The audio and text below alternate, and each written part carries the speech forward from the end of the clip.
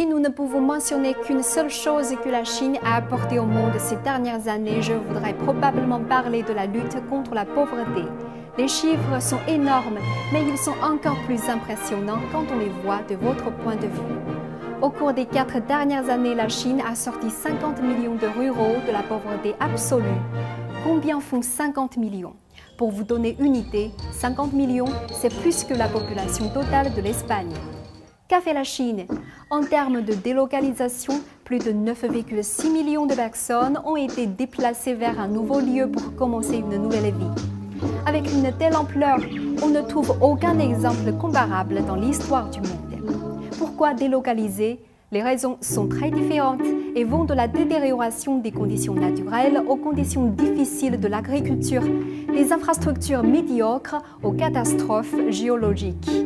Par exemple, dans un village au milieu du désert du Taklamakan vivaient 300 familles.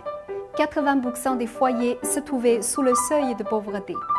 Avec des ressources naturelles limitées et des conditions détériorées, la relocalisation est la seule façon de sortir de la pauvreté.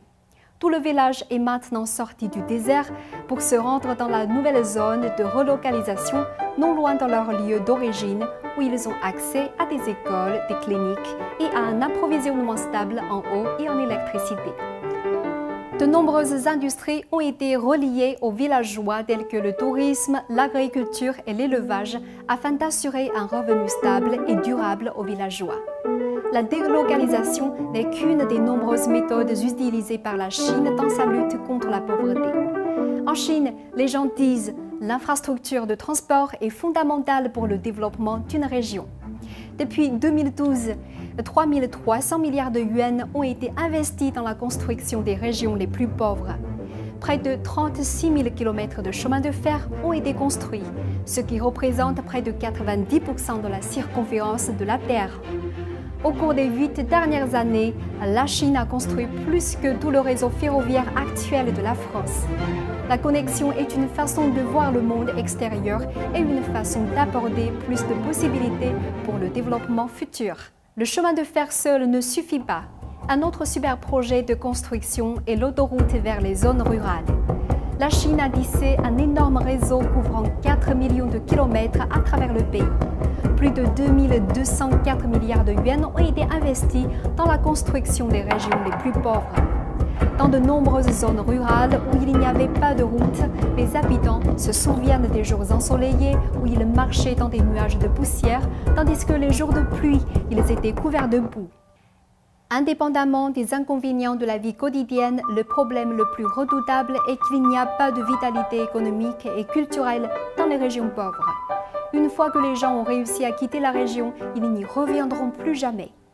Depuis la construction des routes, les transports sont devenus beaucoup plus faciles. Avec un accès plus aisé, plus d'industries et d'opportunités ont été connectées et plus d'anciens résidents sont aujourd'hui prêts à revenir afin de participer au développement de leur propre région. La liste des chiffres peut être longue. Par exemple, un autre chiffre stupéfiant est que la Chine a envoyé plus de 3 millions de fonctionnaires en première ligne de sa campagne anti-pauvreté. 3 millions, c'est plus que la population totale de Paris intramuros plus Marseille.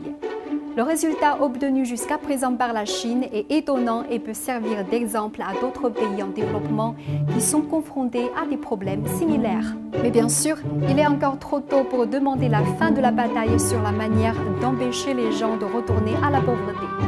Comment consolider le résultat et comment fournir un moyen durable de générer des revenus sera une autre tâche importante à assumer par le gouvernement et toute la société chinoise dans les années à venir.